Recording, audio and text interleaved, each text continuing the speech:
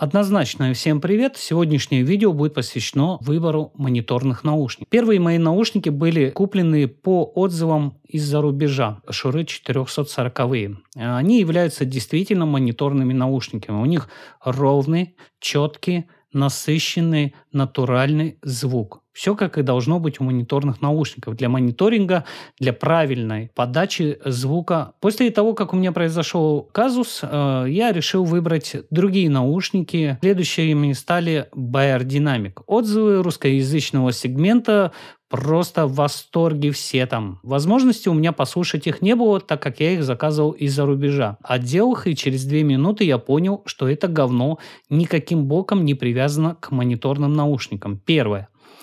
Они искажают звук во всем диапазоне частот.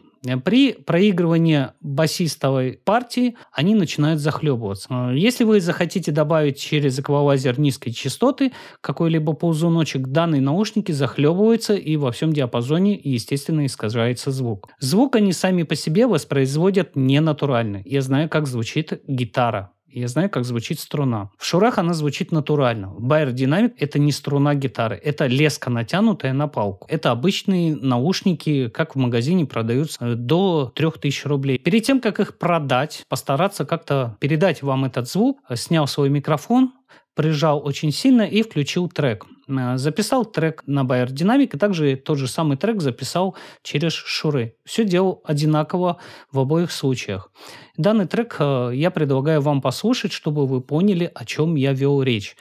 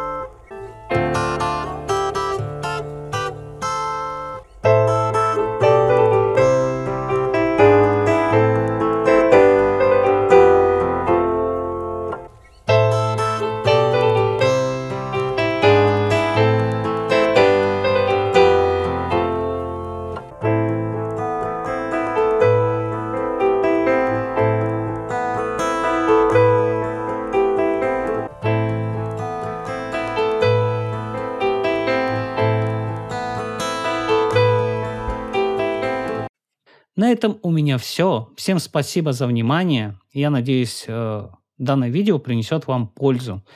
Всем удачи, всем пока.